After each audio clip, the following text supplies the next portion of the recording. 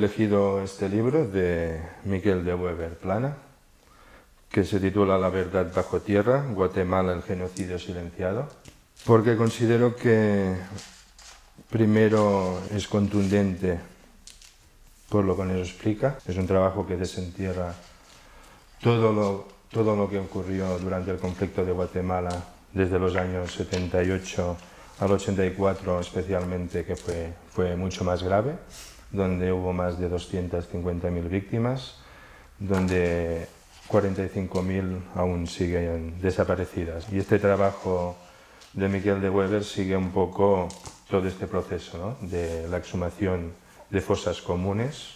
Desde mi opinión, un libro, cuando haces un libro, tiene que ser un trabajo continuado. ¿no? Para dejar un documento bien hecho se necesita tiempo, ¿no? hacer un poco el antes, el durante y el después. Hay una parte que sigue la exhumación de cadáveres, a familiares en los entierros.